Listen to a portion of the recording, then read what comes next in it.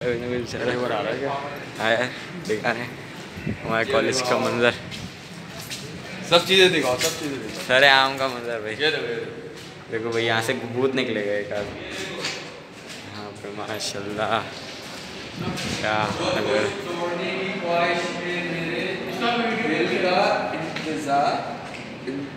है। कर बैठे वाह क्या बात है भाई क्या